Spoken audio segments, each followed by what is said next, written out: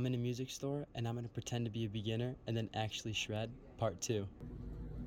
Hey, good afternoon. How you doing? Good. What brings you in?